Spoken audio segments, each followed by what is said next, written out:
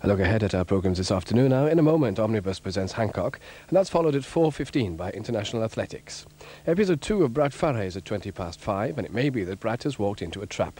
The Living Isles with Julian Pettifer. The speed of today's agriculture has outpaced many traditional inhabitants of farmland, such as harvest mice and wild cornflowers.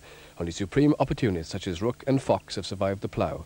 That's Julian Pettifer, and he considers the farmland revolution at 10 to 6. Then finally the news follows at 6.30 and that's the lineup of our programmes for this afternoon here on BBC Wales.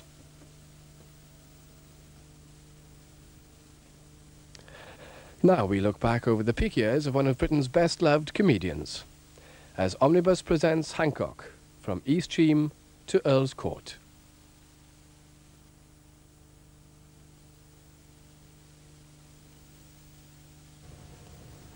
What is the thing that people remember about Tony Hancock and what love is a word.